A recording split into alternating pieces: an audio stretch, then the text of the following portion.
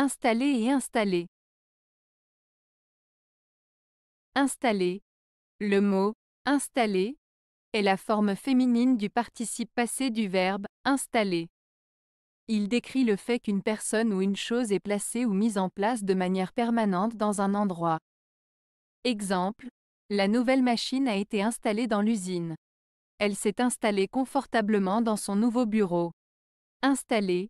Le mot installer la forme masculine du participe passé du verbe installer.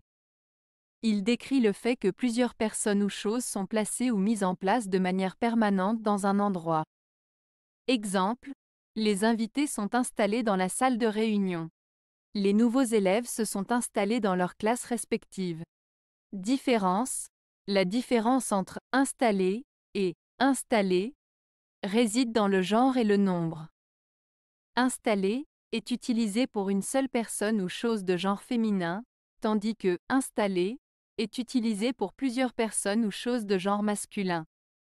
Les deux mots impliquent une action de mise en place permanente, mais ils varient en fonction du genre et du nombre.